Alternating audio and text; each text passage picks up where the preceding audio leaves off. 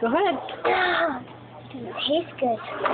Are you okay, okay water yet? Yeah, we are. You I want you to eat your lemon. Good? Hurry up, eat your lemon. Big ol' bite.